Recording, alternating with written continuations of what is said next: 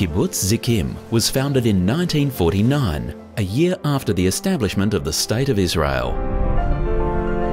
The kibbutz is located in the northern Negev near Ashkelon and only one mile from the Israel Gaza border. The kibbutz is home to 75 families who immigrated from various countries. For many years, the families on the kibbutz have been suffering as a result of the security situation and the wars with the Hamas regime in Gaza. During Operation Protective Edge, hundreds of missiles and mortar shells were fired at the kibbutz. Each attack is preceded by the code red siren, and residents have only 15 seconds to reach safety in one of the bomb shelters scattered throughout the kibbutz. In 2007, one of the missiles hit the home of the Gertel family and injured their son, Rom. אני זוכר שהדלת עפה פנימה, אני גם זוכר שהחל... שכל החלונות התנפצו ועפו, ואז כשנסרטתי בלחי מהזכוכית של החלון. יש רגשות אשמה של אמ, בעצם למה, למה אני כאן, למה אני מגדלת כאן את הילדים. אולי אני גורמת לאיזשהו נזק. זה מצד אחד. מצד שני, אני באמת לא רואה את עצמי אה, מגדלת אותם אה, במקום כל כך טוב כמו פה. הפעם זה היה סבב שונה מכל הסבבים האחרים, ומיוחד בעוצמה שלו, אבל האנשים פה לא עוזבים את הבית. This was a tunnel built by Hamas for one clear goal to commit acts of terror against the civilians that are living in this area. You can see here are wires along the side of the tunnels. These are used for electricity, and other tunnels that we found even had phone wires. Kibbutz Zikim is not only the target of airborne missiles, but also of tunnels that terrorists dig under the border fence, and also of attacks from the sea. In July 2014, a squad of five terrorists infiltrated the area adjacent to the kibbutz via the sea, with the aim of carrying out a terror attack on the kibbutz. The IDF successfully detected and eliminated the terrorists.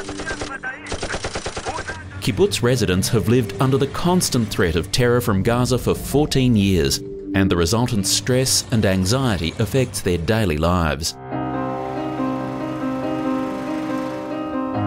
However, the security situation has not discouraged the members of Kibbutz Zikim. They remain optimistic and want to preserve and develop the area, which is a natural and ecological gem. Keren Kayemet LeYisrael Jewish National Fund supports the development project, which was adopted by JNF Australia, and will assist the residents in establishing the project's first phase, a visitors centre, scenic lookout, and promenade.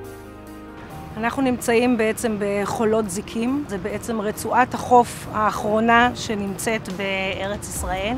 יש לנו עדיין בחוף זיקים הטלה של צבי ים. יש לנו הרבה מאוד צמחים שעדיין קיימים בו בצורה מאוד טבעית כמו רותם, הרותם המצוי שפורח בו לקראת האביב בבריכה לבנה וריחנית ביותר, נר הלילה, חבצלת החוף, וכמובן עצי שקמה. יש צבי ארץ ישראל שרץ פה בחולות, שועלים. אין כאן משכורות. המשק משותף, אמצעי ייצור משותפים. אנחנו עדיין משמרים את חדר אוכל, שום מקום מפגש. יום שישי, תראה, חדר האוכל והמועדון מפוצצים, כולם באים, אוהבים לשבת אחר כך, לשתות קפה, לשוחח. כלומר, יש כאן איזו אווירה שאנשים אוהבים להיפגש יחד. The members of Kibbutz Zikim have high hopes for the visitors centre, which, aside from helping to protect the environment, will boost the kibbutz's economy, which is suffering from many difficulties as a result of the security situation. The visitors centre will include an ancient structure that is currently being restored, and a lecture hall with information and display rooms will be built. Educational activities for youths on local nature will be held here, and bicycle paths for touring Israel's southern beaches will start from here. הפרויקט בכללותו כולל את המבנה, את הנקודת תצפית מהמבנה, טיילת שתלך מהמבנה כ-300 מטר לכיוון דרום, תהיה שם חנייה, וזאת בעצם תהיה הכניסה גם לנחל שקמה.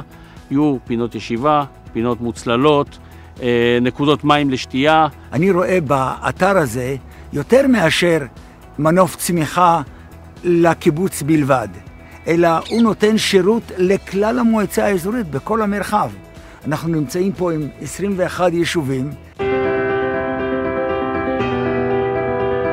Your contribution to the kibbutz's development will help strengthen the Negev in general and the residents of Kibbutz Zikim in particular, who have been living with the reality of missiles, attack tunnels, and terrorist infiltrations for over a decade. The members of Kibbutz Zikim are idealistic and intend to stay here and develop the area for everyone's benefit. All they need is a brilliant start for a promising and engaging tourism project. An ecological centre on Kibbutz Zikim will be good for the environment, good for the Negev, and will strengthen Israel's border.